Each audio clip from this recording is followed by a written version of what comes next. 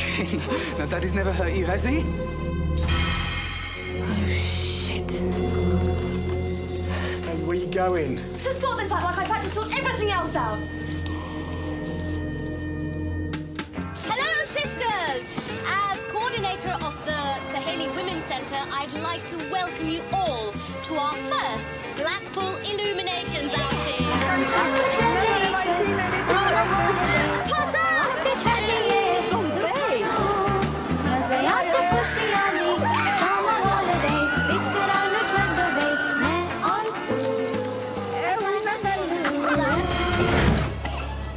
you tell me where Hashida is, please? She's going to the seaside. So what if she's pregnant? So what if the father's black?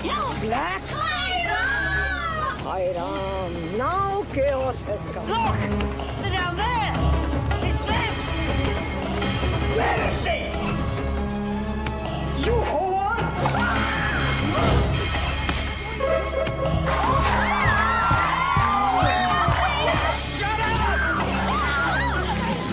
Why do you make me do this to you?